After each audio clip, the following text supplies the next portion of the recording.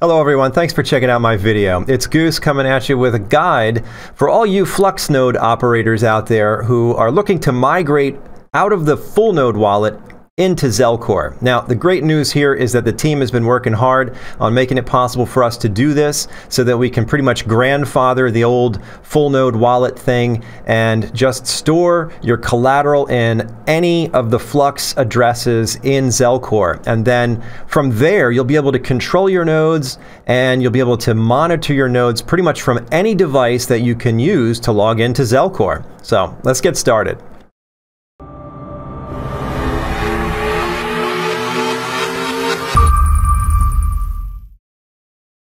Let's start by opening up Zelcore, logging in, and then opening up our full node wallet.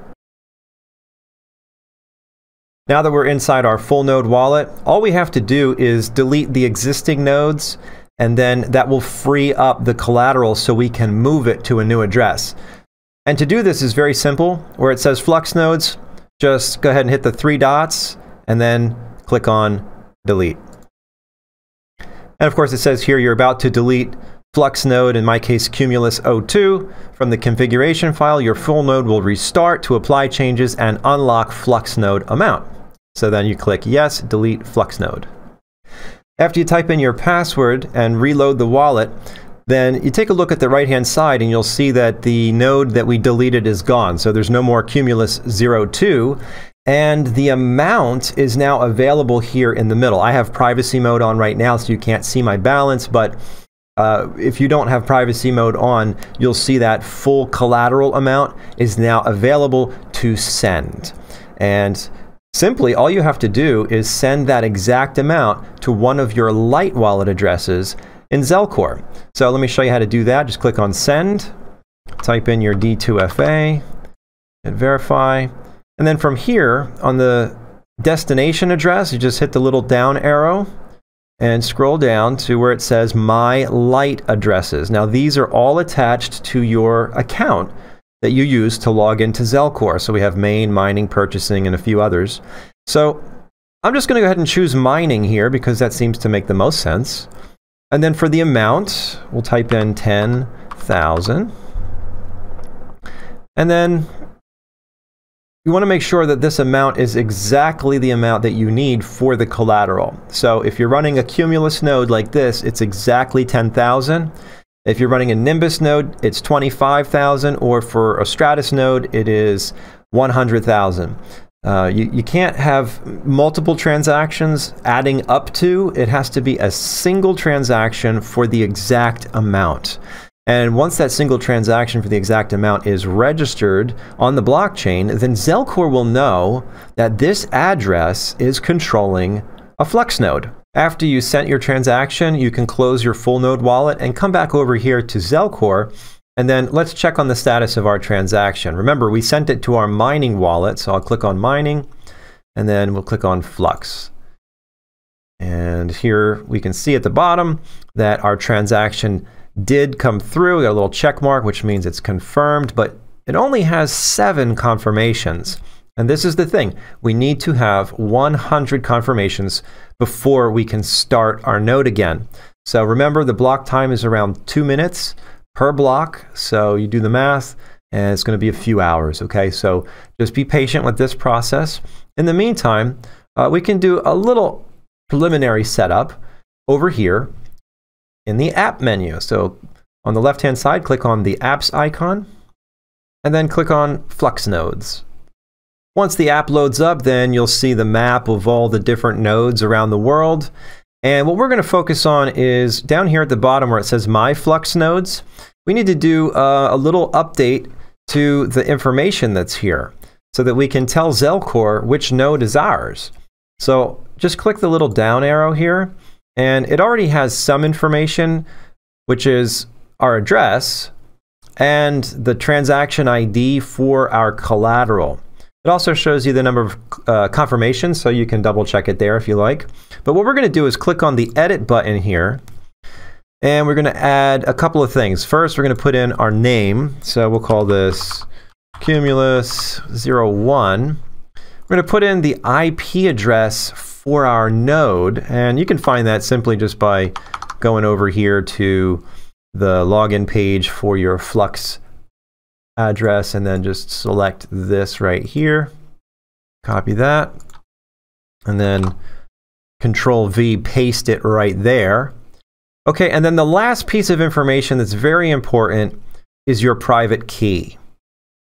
You want to click on this so that you can copy it.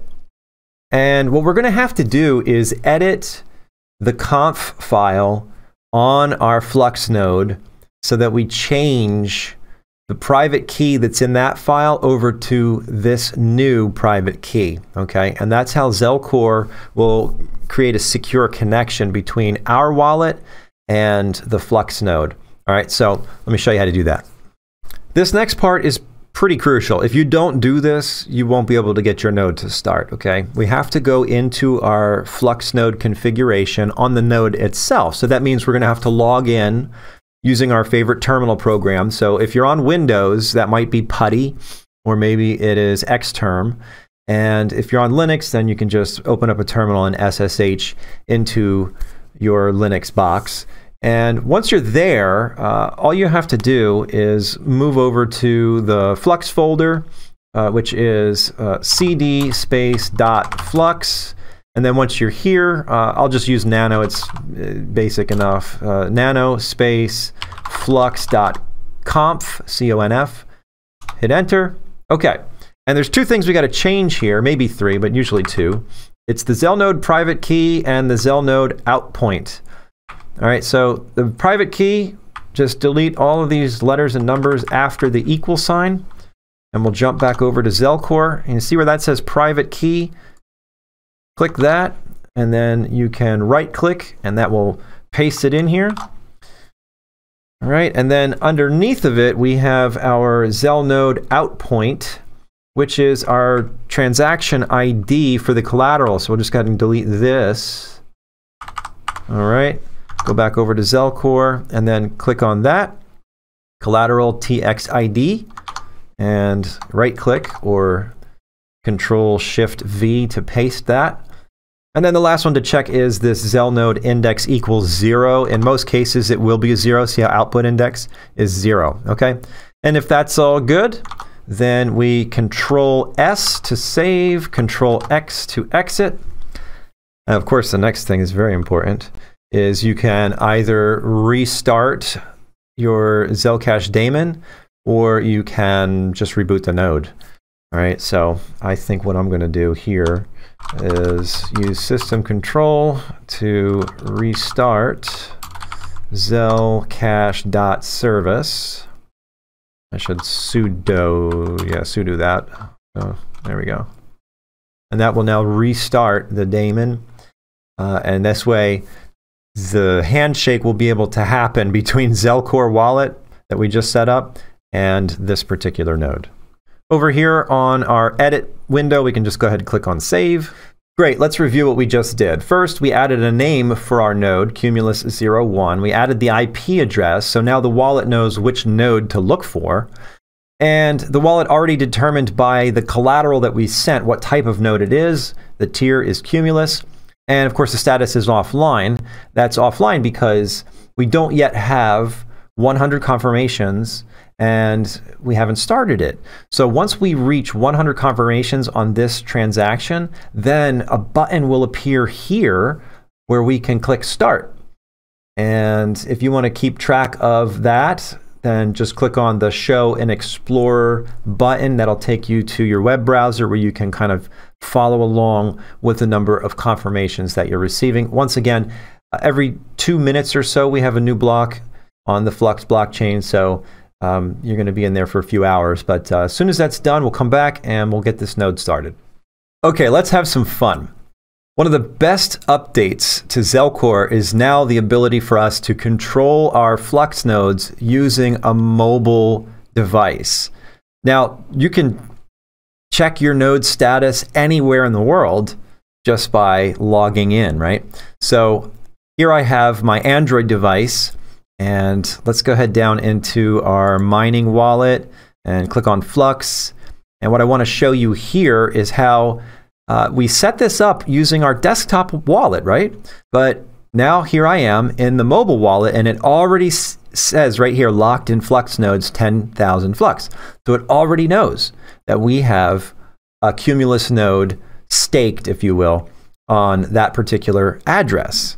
All right, so uh, how do we control it from the mobile app? Well, you just, same as before. We click on the app icon here, scroll down to Flux Nodes, give this a minute to boot up.